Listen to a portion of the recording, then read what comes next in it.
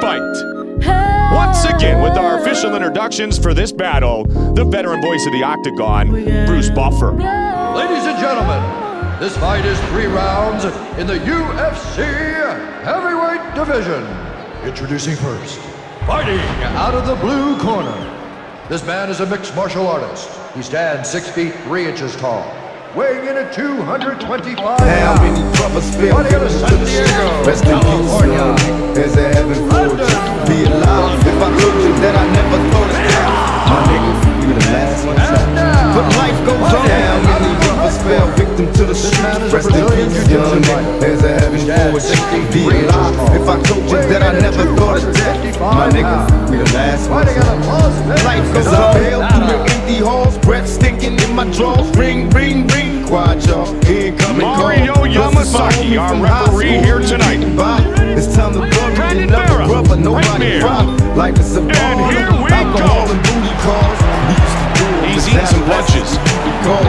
Raised his G's, loped out, blazed the weed. Get Looking on the let's posture get up. smoked out and blaze with me. Two in the Gonna morning and we still Turns into the knee bar. He's gotta extend that leg. Till I die before I passed out. But now that you're gone,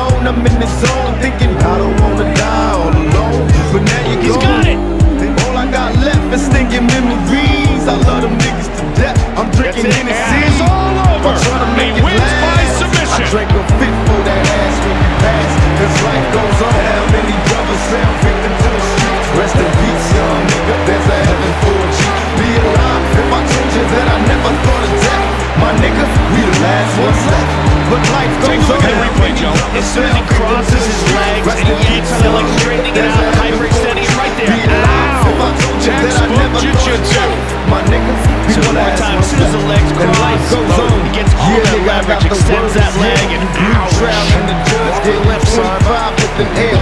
Time to prepare to do bedtime won't Here's parole. Buffer with Imagine life as a convict that's getting old. Plus with the drama with looking out for your baby's mama. Taking risks while keeping cheap checks from getting on her. Life in the hood is all good for nobody. Remember gaming on dumb hotties at your party.